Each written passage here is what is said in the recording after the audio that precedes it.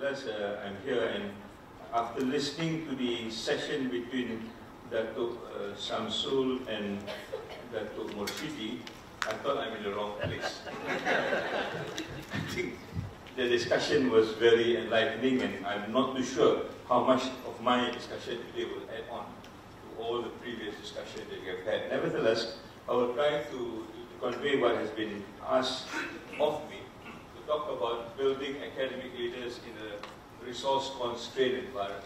And I think there is something which is kind of uh, apt that every one of us here, at least in Malaysia, is facing this so-called resource-constrained environment.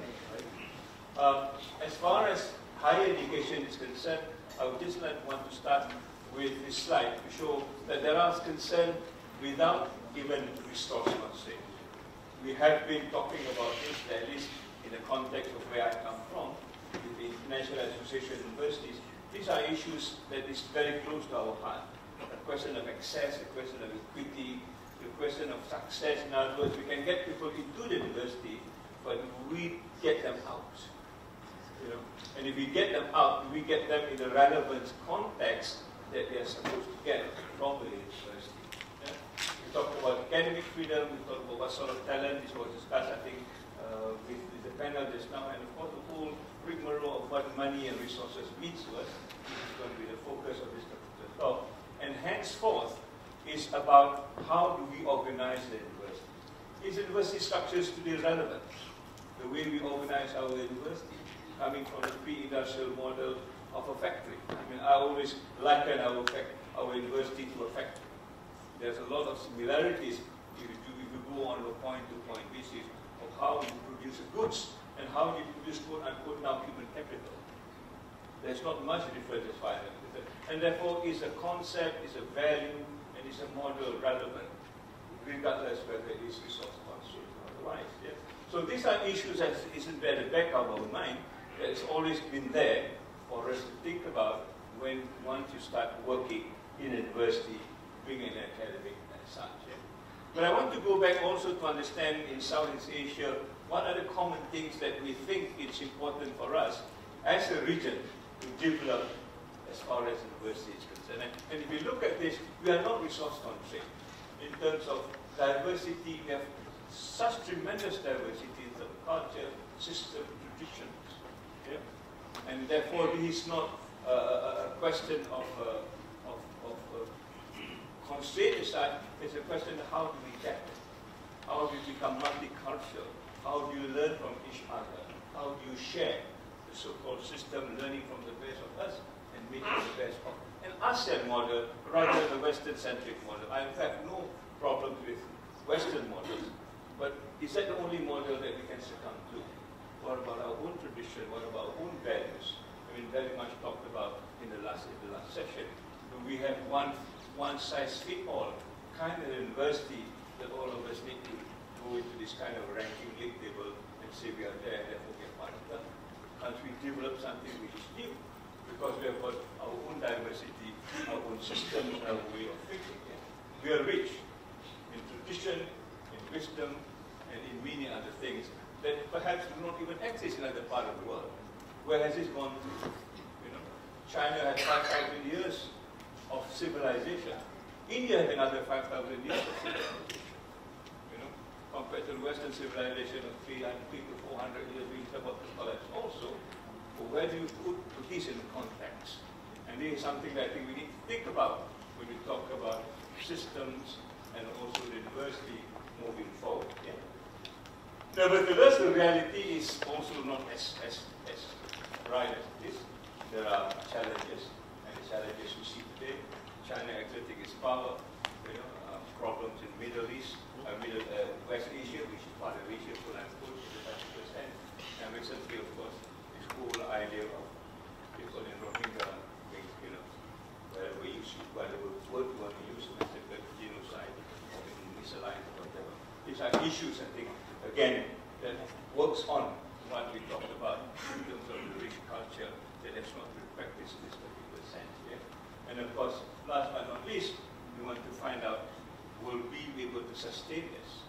Do we come out as a region that is strong, or do we continue to be fragmented and also distracted by the other sort of issues that will distract us from thinking of what academia and also university is all about. Yeah?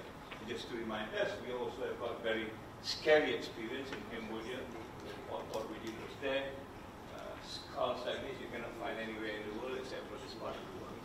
And the millions of them, if you visit them, you feel the scariness of what can happen once you, you know, do not go into this whole rich culture and system that we talked about and start to think of the different way of looking at things. And of course today, the question of where what's happening to the Rohingyas, the people are going to take this on as a group, or is this something that non-intervention is an internet uh, problem? You deal with it, you do not care. Right? So these are issues that I think would be the context of the kind of discussion that going to have, and I hope we can put this in context and play a role as an academician, in the academia and uh, an academician, how do you get into some of these issues? These are not 100% non-academic in a sense. We have some role to play in trying to articulate some of these issues. Yeah? So one of the issues that we face in the 21st century, looking at what has been happening, I think since the 21st century, 16 years now, I can probably summarize into four things. One, the huge uncertainty ahead of us. Nobody could predict what's going to happen tomorrow. Everybody predicted Hillary Clinton will win. But look what happened. Yeah? Uh, nobody can even predict uh, what's going to happen tomorrow or the after tomorrow because of the kind of uncertainty we're facing today. Right? And for that, I think we need to be socially engaged. In other words, we need to go down to the ground no longer lofty ivory tower kind of attitude, sitting in your uh, rooms and doing armchair sort of theories and critics.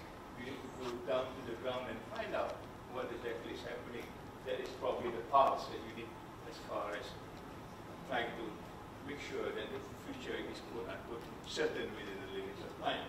Yeah? And of course the whole idea of moving around and getting engaged is to find out what are the common values that we can hold on together so that we can survive as an entity. Be it regionally, be it culturally, be it, you know, whatever context it is, there must be an entity that is large enough for us to survive the future and also to work on what would be the project for the future, and then we can start moving on. Yeah? So these are the four things that I think it is important for us to think about when you move into the future see how we're going to organize ourselves and our university and therefore, if these are kind of four things that we want to work on, so what would be the skills that we need? And in this, in, this, in this relation, I would want to just uh, summarize the four responses. If we talk about uncertainty, there must be a skill for us to anticipate. And this is a new skill, I guess. So nobody, nobody can anticipate that far. But there is, there is enough, quote unquote, academic work that has been done now to be able to anticipate what's happening in the future in terms of foresighting, in terms of scenario planning, in terms of long view uh, planning and so on and so forth. This is something that we have not worked on because we think it is not relevant. Things are predictable so far, but now I think these are the skills that leaders would need.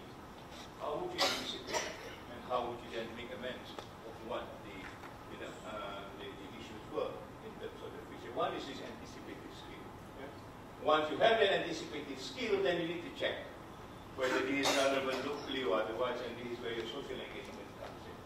You need, you need somehow rather to assimilate what has been predicted into the reality of the ground. And if you can do that, then you can really crystallize out what is relevant to us, at least for the immediate future, to plan and to move ahead so that it is a scenario that you can bank on. Right? and then to be assertive in the sense that when there are options that unifies us, then I think that's the option that we. We don't want to take option that, you know, uh, what you call it, the divisiveness. There's enough divisiveness around the world, and I think in academia is a place where people can sit down, agree to disagree, but yet move on as a kind of an entity. University is the one that has been surviving for a long time as compared to other institutions, and therefore is a strength that we capitalize on. Last but not least, because of the uncertainty, because of the kind of change that we see that is almost immediate, we need to move very fast. The moment you hold on to it, scenarios may change, whatever you're going to do probably may not be relevant anymore. Yeah? So I'll try to go into this very quickly in the, in the hour allocated to me. So I call it 4F, the 4A, 4 A's, yeah, of anticipative, assimilative, uh, accelerative, and assertive. But more importantly, I think what joins this together is another A, which I call autonomy. It's, a, it's an issue which is very close to my heart, but I think it's an issue also that has a lot of problems in many parts of our, our country. I don't think any university